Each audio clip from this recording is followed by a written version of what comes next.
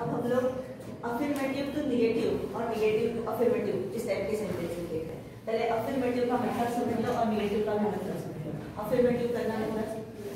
Affirmative मतलब? सकारात्मक। और निगेटिव मतलब? नकारात्मक वाक्य अफर्मेटिव होता है मतलब सकारात्मक, जिसमें नॉट नहीं होता है।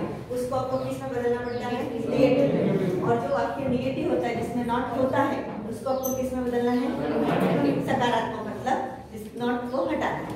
तो नॉट को हटाना है लेकिन वाक्य का मतलब बदलना नहीं है। और नॉट को लगाना है, फिर भी वाक्य का मतलब बदलना नहीं है। तो उसके लिए छोटा सा टेक्निक है। कोई भी सेंटेंस हो मैंने बहुत सामान्य सेंटेंसेस लिए हैं, परीक्षा में कोई भी सेंटेंस आएँगे तो भी आपको सिर्फ़ क्या करना है रखना दिस सोल्जर्स वेयर टेम्पररी आप कहते हैं, ये सोल्जर्स जो है, वो कैसे है? टेम्पररी टेम्पररी का मतलब क्या है? टेम्पररी मतलब कुछ दिन के लिए है। उनकी सर्विस क्या है? एक महीने के लिए दो महीने के लिए है।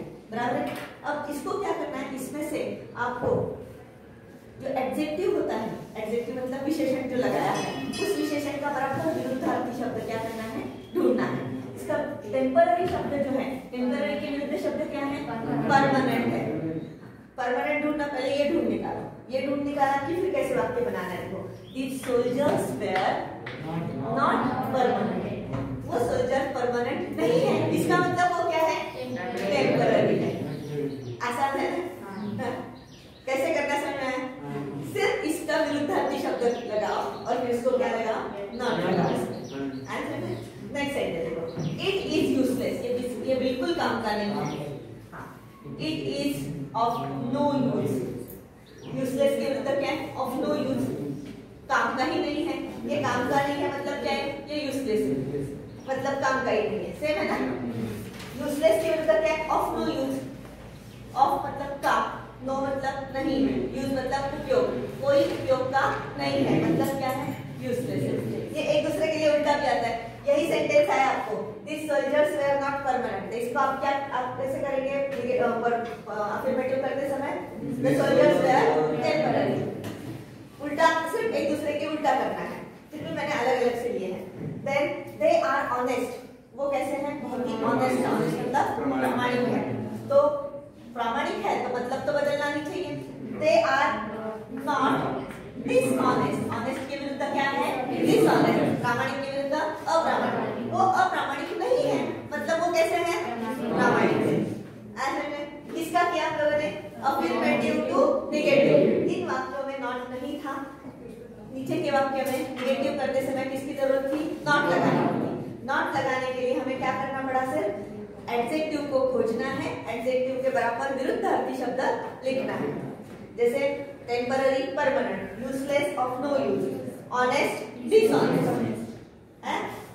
अब निगेटिव सेंटेंस दिया है और निगेटिव को आपको किसमें परिवर्तित करना है? अफर्मेटिव निगेटिव मतलब नकारात्मक। नकारात्मक को किसमें बदलेंगे? सकारात्मक। देखो ही वाज नॉट सेटिस्फाइड वो समाधानी नहीं था। तो सेटिस्फाइड के विरुद्ध क्या है? डिससेटिस्फाइड बराबर? असमाधानी। नॉट हटाना है। तो क्या किया? इसके विरुद्ध लगा दिया।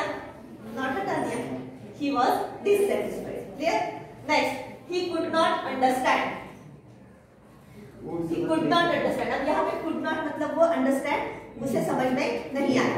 अब could not के लिए fail to ये विरुद्ध शब्द है कुछ शब्दों को आपको टेक्निकली याद रखो कि ऐसा आया तो क्या लिखना है तब आपका गलत नहीं हुआ could not, he could not understand के विरुद्ध क्या है? He failed to understand. अब लास्ट जो है, ये अलग अलग टाइप के लिए सेंटेंस आता है.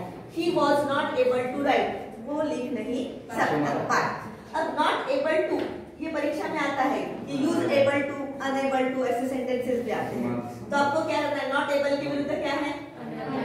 Unable he was unable to write या फिर परीक्षा में कितना दिया जाता है? He was not able to write और लिखा जाता है use able to able to का उपयोग करो। एबल टू लगाया है फिर भी कहेंगे एबल टू का उपयोग करो। तो आपको क्या करना है? एबल टू को हटाकर उसकी जगह किसे देने? अनेबल टू या फिर कुछ सेंटेंस कभी कभी ऐसे भी आते हैं। ही कैन राइट सिंपल से बताया। तो यहाँ पे एबल टू लिखने के लिए कहा जाता है। ये थोड़ा अलग टाइप का अफर्मेटिव इसमें से नहीं है। तो आपको कैन की जगह पे क्या लगाना है? एबल टू कैन और एबल का मतलब सेम होता है। तो यहाँ पे सिर्फ़ टू बी का रूप लगाना ज़रूरी होता है। He is able to write he can not write रहा तो? He is unable to write ये सिर्फ़ एक्स्ट्रा था इसी से कनेक्टेड था इसलिए मैंने लगा दिया सेंटेंस ये सेंटेंस अलग है। ब्रैकेट में जो सूचना दी जाती है उसके अनुसार हम लोगों ने यहाँ पे चेंज किया। आंसर में एबल टू अनेबल टू भी हो गया इसके साथ। ठीक।